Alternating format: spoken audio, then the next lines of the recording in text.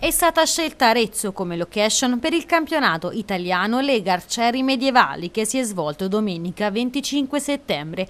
Una manifestazione che ha richiamato in città un gran numero di appassionati provenienti da ogni parte d'Italia che si sono sfidati in una gara di tiro con l'arco storico. Arezzo si presta veramente come città ma anche come organizzazione.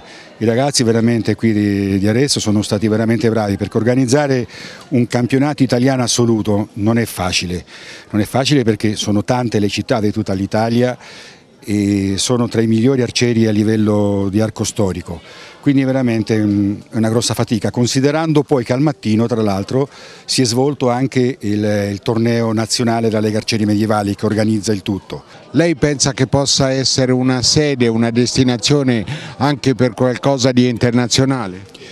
Ah ma sicuramente, noi siamo anche come Lega Arcieri Medievali organizziamo anche il campionato europeo ogni due anni se lo chiedessero non avrei niente in contrario, ma me lo devono chiedere però.